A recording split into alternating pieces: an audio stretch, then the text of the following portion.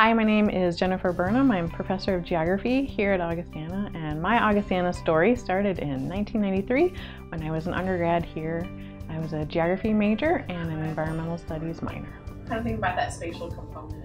Now, on the other side of the desk, really helping students to see that uh, they might not know where their career path is going to head, but they're going to know that the skills that we prepare them with here at Augustana are going to equip them for whatever problem solving careers that they face in the future.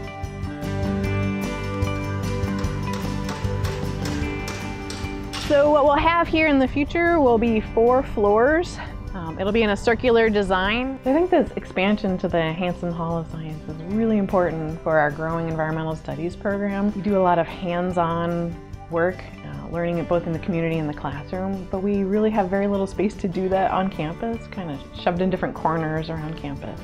So this expansion gives us an entire floor where we can move from the classroom setting to the laboratory setting to the computer setting to have that integrated learning, that hands-on learning, which is so valuable for students. No matter if you're interested in neuroscience or physics or chemistry or environmental studies, we have the student interest, we have the faculty expertise, and now we just need the home for these programs to build and grow and prosper in the future.